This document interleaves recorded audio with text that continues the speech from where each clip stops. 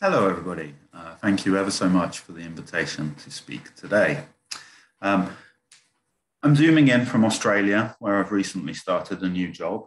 Um, so I'd like to begin by acknowledging the traditional owners and custodians of the land from which I'm speaking, the Turrbal and Jagera peoples. Um, to be blunt about it, the land from which I'm speaking was colonized by Europeans, their agricultural plants, and their systems of farming. Colonization is a theme of the paper today because colonization and the colonial mindset were in many ways the key context for agricultural development in the early 20th century. That's a theme that we'll come back to later. I'm uh, keenly aware that my talk stands between you and lunch, so I will be bold, provocative, polemical, and brief. To that end, and to reflect the not quite business as usual for historians, um, I've jazzed up the title a little bit. Rowland Biffen, How One Man Got Muddled Up About Mendel and Failed to Change the Face of British Agriculture in the Ways He Wanted. The new job. I'm very excited about it. Um, it's working for the Australian Research Council's Centre of Excellence for Plant Success in Nature and Agriculture, based at the University of Queensland here in Brisbane. So, plant success. In Britain, in the early 20th century, if one asked the average Daily Mail reader, which are the successful plants and what makes them successful, it would not be surprising to hear them say Mendelian plants. Not even genetic plants, but Mendelian plants. This was a widely spread belief in the Mail, the Times, as well as many other places, including the Royal Agricultural and Horticultural Societies. Mendelism, Mendelism was, for many people, the route to producing successful agricultural plants. The bulk of this paper is devoted to looking at how successful those plants were and what sort of role Mendelism played in their success. The paper is a work of historical revisionism about the story of the first generation of genetically modified plants. So we'll be looking at the mythology, let's say, of Mendelian success in producing plants. Then I'll offer some critical analysis that pushes back against that story of Mendelian success. And finally, I'll try to draw out some hand wavy lessons that we might derive from this more accurate history and its analysis. So, speaking of history. Uh, this is possibly one of the most famous quotes from one of the most famous books in the English language. History is everywhere about us in our society. Everybody surely knows that those who don't study history are doomed to repeat its mistakes and failures. To paraphrase Nietzsche's analysis in his book, The Uses and Abuses of History, too much respect for history stultifies us and traps us. It prompts us in our efforts, like Joyce, to escape. But on the other hand, too little respect for history, and we act like reckless drunks. Here, what I hope to offer you is just the right amount of history, a Goldilocks level, enough to help us to avoid some pitfalls and problems, but not so much that we become trapped in the veneration of heroes.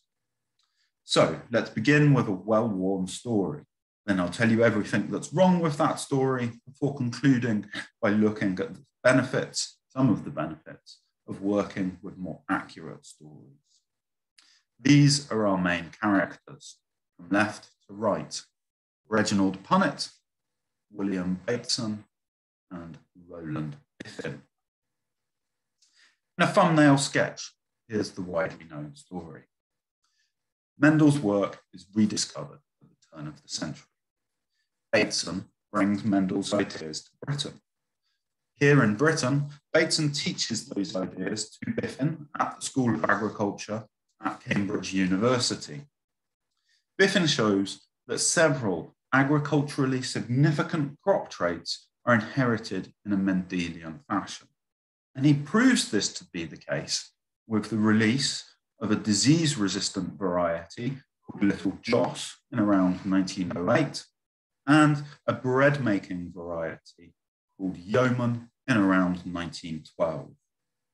These varieties are self evidently useful and they come to inhabit three quarters of the country's acreage by the 1920s. Everyone is very happy with these developments. Biffen is awarded the Royal Society's Darwin Medal and a knighthood to become Sir Professor Rowland Biffen. And the rest, as they say, is history. Uh, this story was common in the period and it has endured ever since. Here you can see Bateson foretelling the story and looking forward to a time when plant breeders will be as precise as chemists in their work. And here you can see Noel Kingsbury looking back on that story in 2010 with the claim that Mendelism takes a lot of the effort out of plant breeding. This is Reginald Punnett's version of that story. Note now before Mendelism, there's a great deal of waste, but after Mendelism, breeder will work synthetically to build up the plants that he requires. This is a pictorial representation of that same idea. Mendelism gives the plant breeder a way of tracking characteristics and traits as they are inherited and passed on from parents to offspring in ways which can be deterministically manipulated. This is Biffen describing the work himself and claiming that disease resistance forms exactly the sort of character pair that Mendel himself might have wished for. And this gloriously punny yet deeply misguided article from the Daily Mail underscores the popularity of his belief in the period. This was a cause celebrated by figures ranging from David Lloyd George to HRH, the Prince of Wales. It's worth pointing out as an aside that a corner, meaning a monopoly, is probably a reference to the 1909 D.W. Griffith film, A Corner of Wheat. Less famous than The Birth of a Nation, these sorts of connections still point out the deep links between agriculture, nation, and indeed empire building. This quote is taken from Rowland Biffen's obituary, written by Biffen's star student, Frank Engledow, who went on to succeed Biffen as chair of agricultural science at Cambridge University, and then determine agricultural policy in the empire for the next two decades of colonial office. Note once again these ideas of orderly synthesis, displacing mysticism and guesswork and note once again this idea that Biffen's work goes on to dominate plant breeding in all countries. However, in this very same obituary, we get the first inkling that something might be wrong with this story. Engledow can barely bring himself to call Biffen a scientist. With Biffen, he says it was the eye of an artist. And that artistic eye led Biffen through sheer admiration of the beautiful ear of wheat to using the wrong types of plants. So much for the story of Mendelism saving us from waste in plant breeding. And the news just gets worse from there. Um, it turns out that Biffen was a heterodox, heterodox Mendelian at best. At worst, it's possible he doesn't really understand Mendelian theory. There are two pieces of evidence that I want to mention here. So um, it turns out that disease resistance does not form the sharply differentiated pair of characters that Mendel might have hoped for. And a closer reconstruction of Biffen's big 1905 paper shows that in fact the relationship is something more like codominance, a modification simple dominance relations between traits that Bateson had already suggested by this point. And indeed, Bateson spent some time grousing behind the scenes to the Royal Society's secretary, William Bate Hardy, that Biffen was a practical man who didn't really deserve the plaudits of a scientific reward much less one bearing Darwin's name, and previously awarded to big hitters like August Weismann and Hugo de Vries. So it seems that where Biffen's actual expertise lies is in plant breeding. In fact, he marries into a famous plant breeding family and wins several awards with his wife, Mary Hemus, from the Royal Horticultural Society. Biffen's life's big work, published posthumously, is a work of fancy, a hobbyist's book on the auricula, the florist's flower. So Biffen seems to be using Mendelism as a kind of fig leaf of respectability to cover his actual plant breeding skills and their use as the basis for his work. So, bad Mendelian, good plant breeder. It turns out he was also terrible agriculturalist. He had a very public fight with the farmers of the London Farmers Club after he tried to convince them to grow wheat for bread making purposes rather than chicken feed. Indeed, while Biffen's varieties were successful, it was not for the reasons he intended or because of the traits he claimed to have used Mendelism to engineer into them. His disease resistant variety was resistant to a disease that hardly bothered farmers. Instead, they fit little Joss into patterns of extensive farming using less favorable land to produce chicken feed or biscuits during the war. And when farmers had more money and access to artificial fertilizers, yeoman was not used to bake the English loaf of bread that Biffen saw as the salvation of British farming. And instead, the variety was used intensively with extra fertilizer to make bulk chicken feed production after the war. Yeoman was the beginning of a farming pattern that increasingly saw arable crops used for animal feed. But it gets worse. Biffen's work also represents various forms of colonialism. Metaphorically, he is part of a movement that sought to colonize plant breeding by genetics, geneticists, and colonize agriculture by scientists. That is to say, Biffen was part of a movement that sought to assert that plant breeding and agriculture, properly conceived, should be the domain of expertise of scientists and specifically Mendelians and then geneticists. This is an act of takeover in which a particular territory is inhabited by new entrants, the new class of scientific experts in the 20th century. Men like Frank Engledow, who set agricultural policy on scientific basis.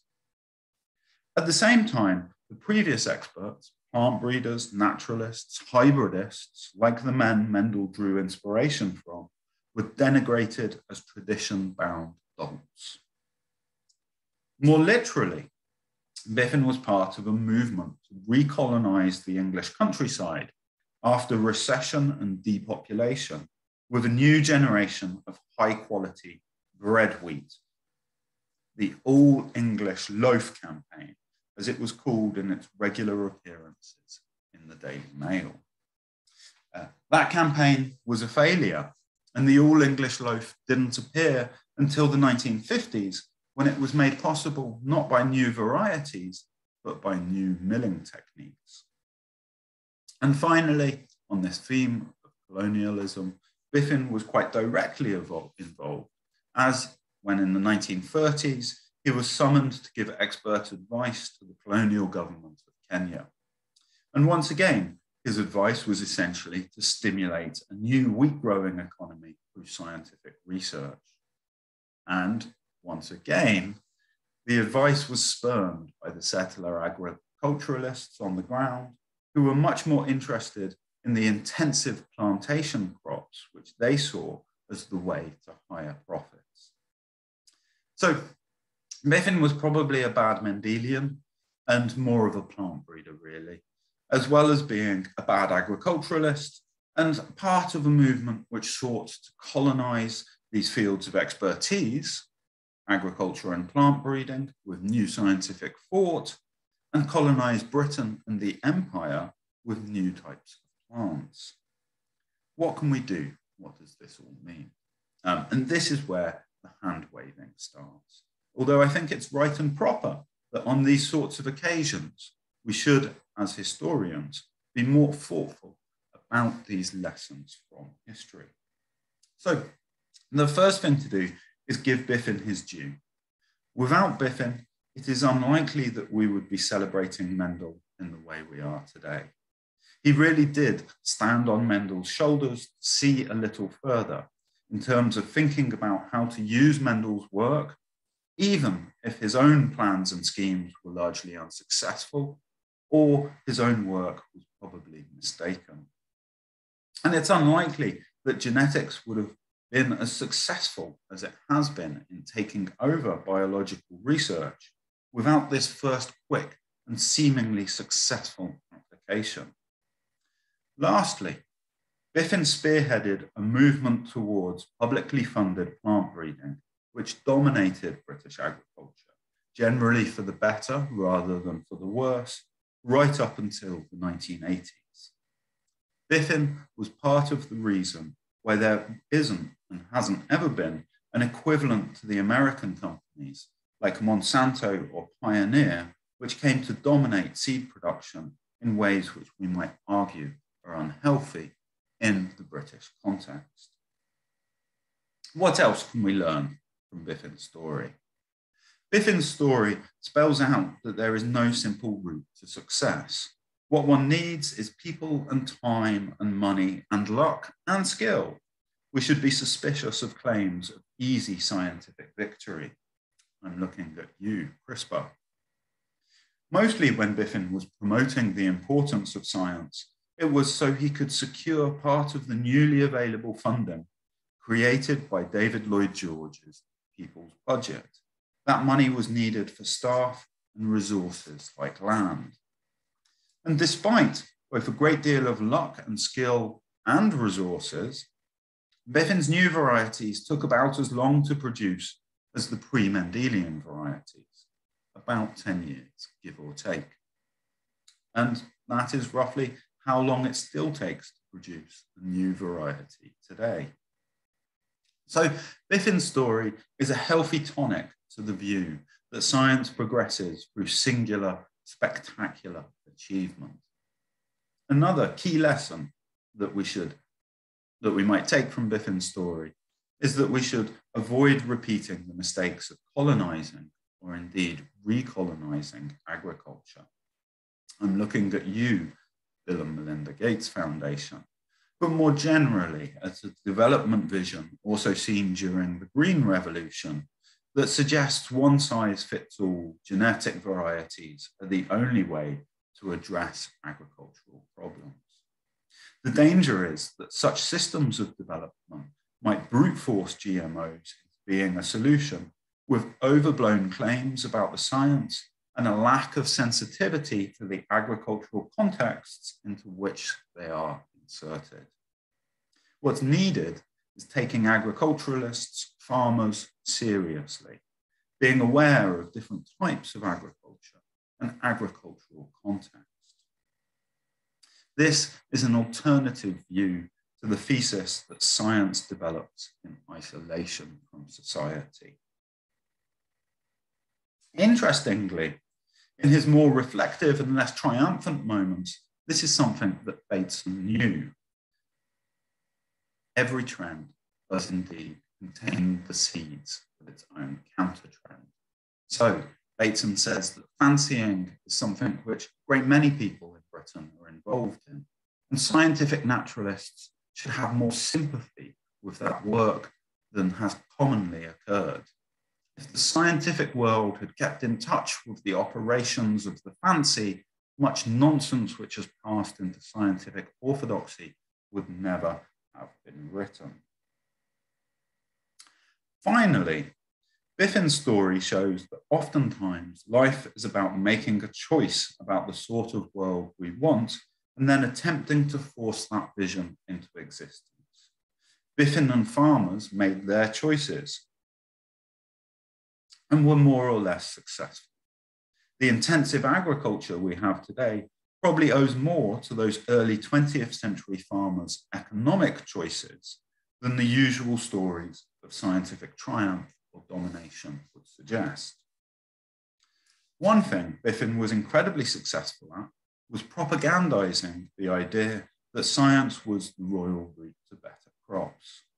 That vision has certainly stuck, and one suspects it was largely due to Biffen's dogged and stubborn desire to will it into existence, especially because the evidence suggests that science was not as important to agricultural development and Biffen's new varieties as he and other scientific boosters would have us believe. So, just briefly, in conclusion, I would like to say if you hear that genetic modification is centuries old, goes back to a monk in his garden, breeding peas, and by implication, that genetic modification is tried and true, or that the application of Mendelian thought to plant breeding and ultimately to agriculture was mundane and routine, I hope this talk has given enough to cause you to pause for thought and think, well, not quite. There's actually something more interesting happening here. In many ways, course of action was decided upon and made to work. Let's celebrate and appreciate that work, but also be critical of it. Thank you ever so much.